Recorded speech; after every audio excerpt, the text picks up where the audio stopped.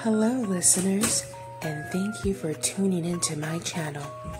Today, I will be talking about Jaden Smith. He is the second oldest son of Will Smith and Jada Pinkett. He recently received mixed feelings from his fans for wearing an oxygen mask during a Halloween costume party. Now, this is one of those stories that made me chuckle and then roll my eyes. The chuckle part is for him wearing an oxygen mask to Halloween party. He's a kid. You know, that was funny.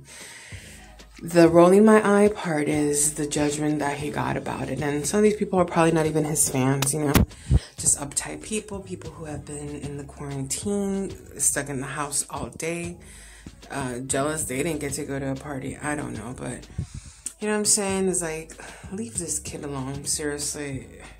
He's grown. He knows what he's doing. Sometimes we nitpick the little things. And I don't want people to be like, well, that oxygen mask could have been used for actual patient. Stop. Stop. No. There's enough oxygen masks to go around. Stop. Anyway, so yeah, social media is just hitting this guy up. And I'd like to know your thoughts about it. Please comment below. Um, you know, life is beautiful, y'all. This quarantine stuff is getting on some people. And we need to lighten up a little bit. And yes, I know that it's real and it's it's out there. Be safe.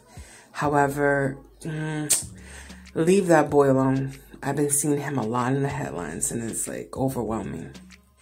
Well, thank you for watching, y'all.